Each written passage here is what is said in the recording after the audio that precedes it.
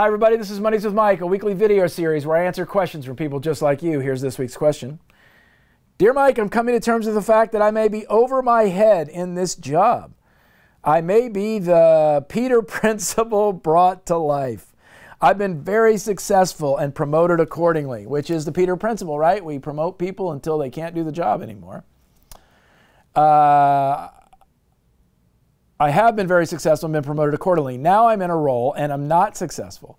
It gets worse. It keeps getting worse, and I'm not sure my next step. Help is appreciated.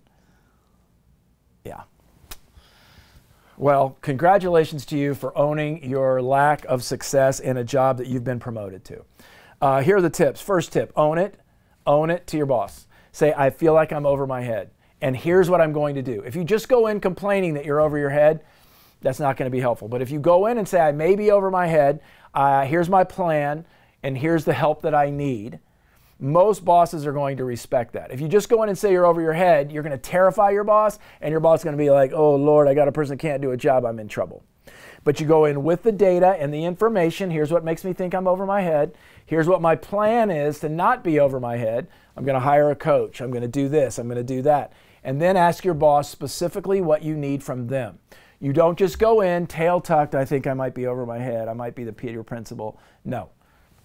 I feel like I might be over my head. Here's my plan to get my head above water. Here's the strategy I'm going to use. Here are the results I've got in front of me, and here's what I need from you.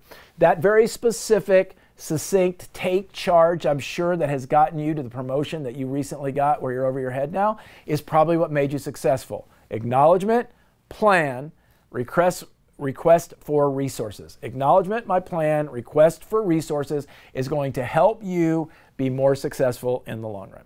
Good luck and congratulations. I believe you'll be successful using that strategy. If you have a question, send it to mikestaver.com forward slash mondays with Mike, and we're going to work it in as soon as we can. Take care, everybody.